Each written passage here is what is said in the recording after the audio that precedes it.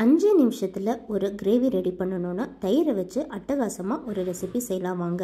ஒரு கடாயில் ஒரு டேபிள் ஸ்பூன் எண்ணெய் ஒரு டீஸ்பூன் சீரகம் ஒரு சின்ன பல் ஆகிற அளவுக்கு பூண்டு அதாவது ஒரு பத்து சின்ன சின்ன பல் ஆகிற அளவுக்கு பூண்டு சின்ன சின்னதாக இந்த மாதிரி நறுக்கி பொன்னிறமாக வணக்கிக்கோங்க.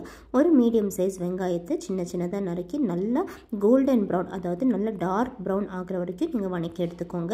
அந்த அளவுக்கு டார்க் ப்ரௌன் ஆனால் தான் இந்த கிரேவிக்கு வந்து டேஸ்ட் நல்லாயிருக்கும் ரொம்ப வந்து கண்ணாடி பதத்துக்கு வர்ணிக்கிட்டு இமீடியட்டாக தயிர் சேர்க்கக்கூடாது?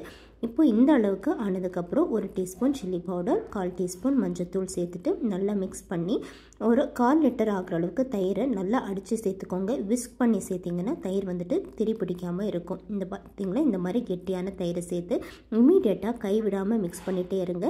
கேஸ் வந்துட்டு இந்த ஸ்டேஜில் லோ ஃப்ளேமில் வச்சுக்கோங்க. தேவையான அளவு உப்பு சேர்த்துட்டு அதுக்கப்புறம் மிக்ஸ் பண்ணுங்கள் உப்பு வந்து ரொம்ப கம்மியாக தான் சேர்க்கணும். நான் ஒரு அரை டீஸ்பூன் தான் சேர்த்துருக்கேன். நல்லா மிக்ஸ் பண்ணிவிட்டு இந்த மாதிரி ஓரங்களில் நல்லா கொதி வரும். இந்த கொதி வந்ததுக்கப்புறம் கேஸ் ஆஃப் பண்ணி கொத்தமல்லி தலையை தூவி நீங்கள் சர்வ் பண்ணிங்கன்னா அட்டகாசமாக இருக்கும். சுட சுட சாதம் சப்பாத்தி கூடலாம் அட்டகாசமான காம்பினேஷன் கண்டிப்பாக நீங்கள் ட்ரை பண்ணி பாருங்கள் ட்ரை பண்ணிங்கன்னா எப்படி இருந்துச்சுன்னு கமெண்ட்ஸில் சொல்லுங்கள் டக்கு டக்குன்னு அஞ்சு நிமிஷத்தில் ஒரு விஷயத்தை செய்யணுன்னா இந்த ரெசிபி நிஜமானுமே ரொம்ப ஹிட்டான ரெசிபி ரொம்ப சூப்பரான ரெசிபி எல்லாருமே விரும்பி சாப்பிடுவாங்க.